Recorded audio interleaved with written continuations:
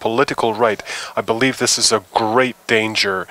The uh, contradictions that have emerged on this planet during the last 30 years have assumed a new quality. We need think only of what is happening in Ukraine, in Syria, in the Middle East.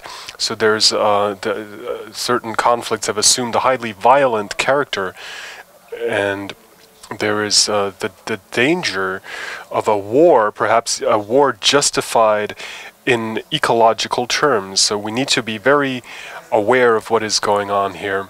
I want to say just two things. The first thing um, is that I believe movements such as degrowth need to try to get uh, need to try to link up and pick up on the social question as much as possible.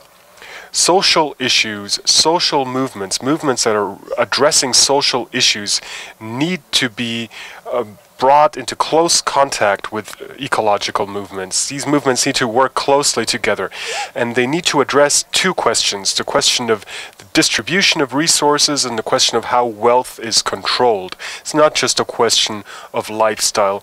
It's also a question of power. Who has the power? Who controls the resources in the world? In my opinion, it's very important to know what happens when Greens ask uh, questions that are typically attributed or associated with Reds. Though, so when people from the ecological movements raise classic left-wing questions, they're immediately denounced as being left because being left is considered uh, an outlaw. It's considered uh, it's, co it's considered a danger, and it's it's something that is left positions are marginalized. A, a person who radicalizes themselves, starting from ecological issues.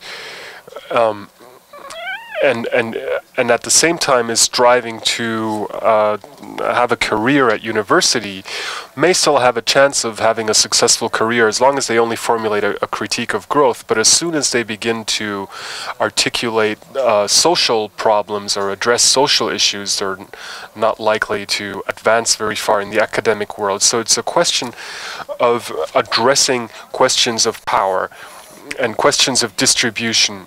Of course, um, it's it's not so subversive for us to formulate only a critique of growth, and that can be tolerated by uh, by the uh, uh, powers that be. But as soon as we begin to address questions of of, of of power and and of distribution, that becomes a whole different story. So.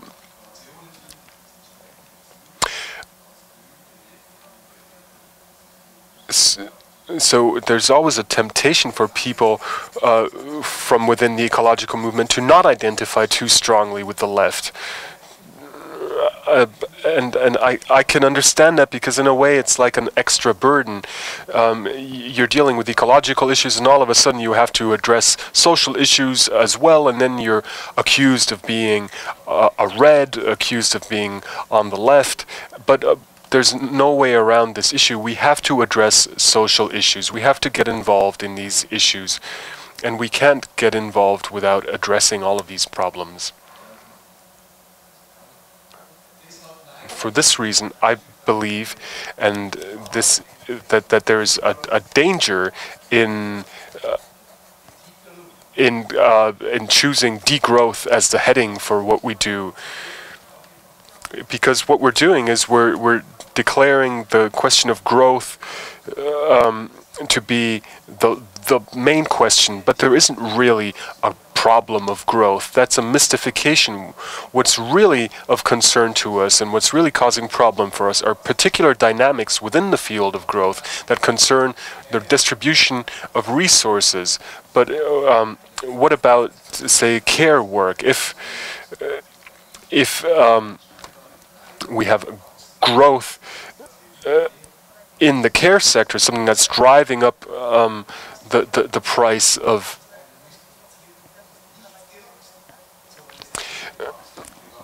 when, when, when we're dealing with, with, with care, care work being trans, when we look at care work being transferred from the private sphere, um, the household, to the commercial sphere, then on, apparently we have an increase in costs. But in fact, nothing has increased. There hasn't really been a, growth in the costs at all.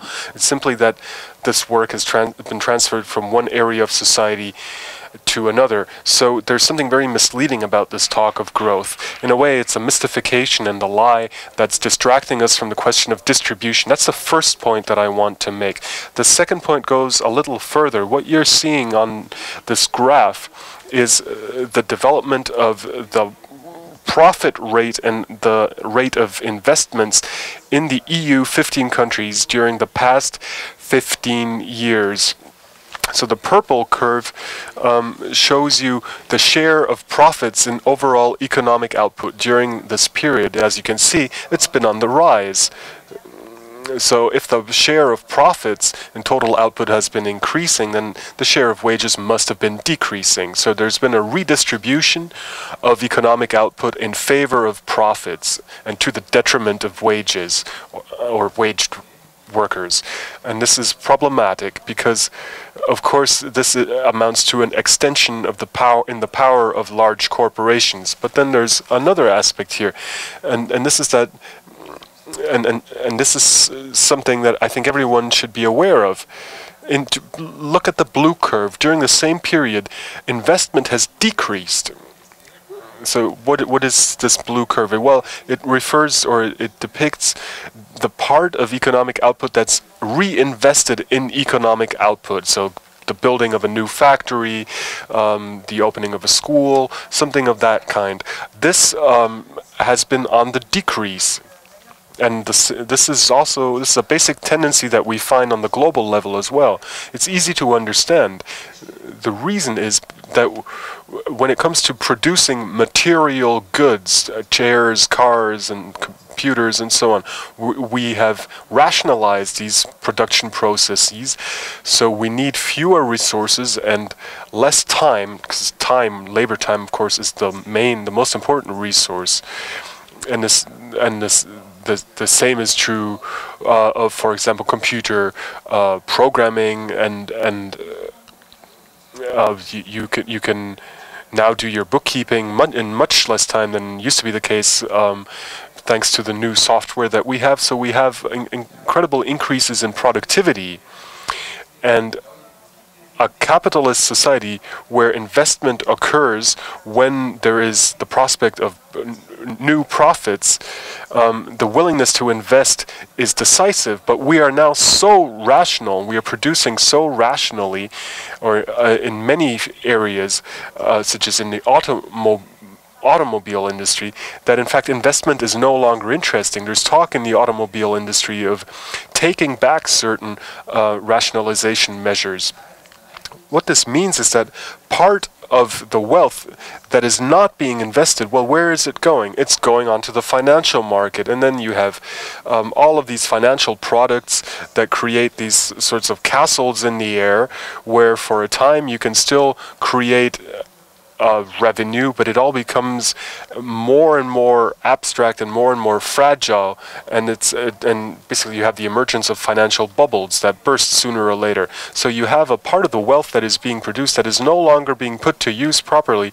It's being reallocated to the financial markets. And the right thing to do, of course, would be to use this wealth to bring about a reduction in labor time and uh, the transition to a more ecologically sound society. We could use uh, these this wealth uh, uh for these uh, purposes, but we would have to redistribute it first.